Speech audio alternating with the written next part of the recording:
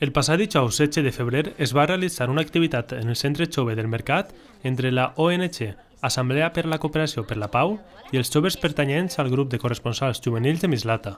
L'activitat consistia en la posada en marxa d'un joc que pretén conscienciar als quechua de les diferències entre uns països i altres i té la finalitat de mentalitzar en el fet de que, si els països optaren per l'alternativa de la cooperació, aquestes diferències no serien tan acusades i, per tant, hi hauria una millor qualitat de vida dels països més desfavorits.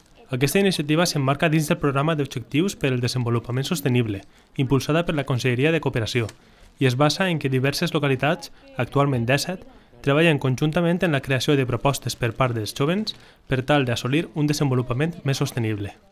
Doncs esta és una activitat que, que anem a fer ara al mes de febrer i està enmarcada dins dels de, eh, els objectius pel desenvolupament sostenible.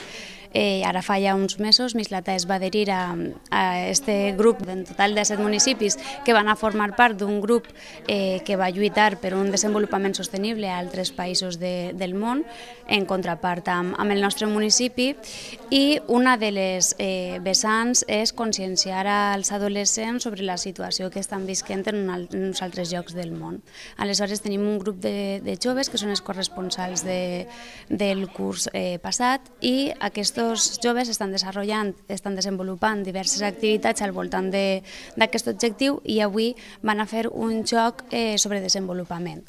La ONG opera en diversos instituts i centres d'educació i manté en tot moment aquestes premisses. Mitjançant aquest tipus de xoc, prevé conscienciar els joves d'una manera entretinguda però a la mateixa vegada carregada de contingut.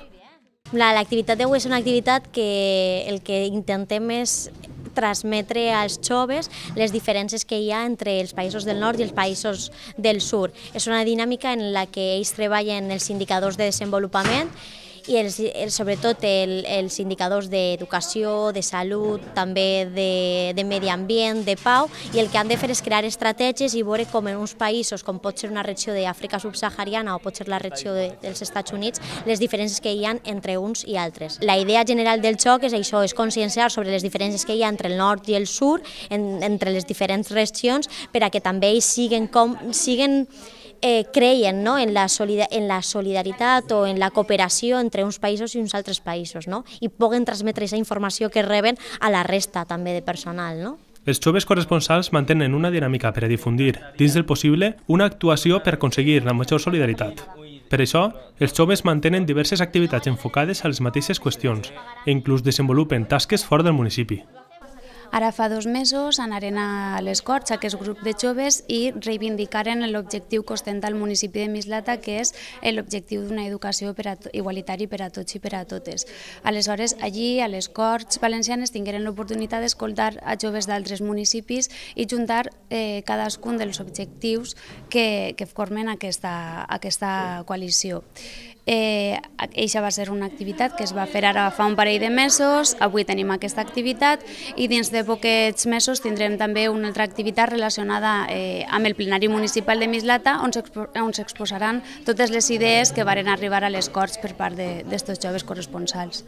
La iniciativa del Xoc Solidari forma part de tot un conjunt de polítiques que du a terme l'Ajuntament, buscant conscienciar els joves per a que la solidaritat cada vegada es trobi més inserida en la mentalitat de la societat. Mariana, no? Sí. Vale.